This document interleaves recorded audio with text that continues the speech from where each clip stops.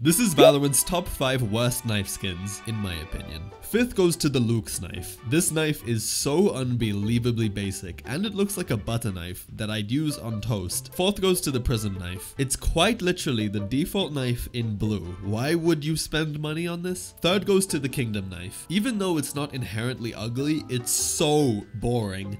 Riot couldn't have made it any less interesting if they tried. Second goes to the Striker knife. This knife is genuinely hard to look at. The color combinations are an eyesore. The lines going in various zigzag patterns are just kind of gross. It's just bad. First goes to the Outpost melee. This knife looks like a construction tool. It looks like if you took a box cutter and a level and slapped them together. I hate it a lot.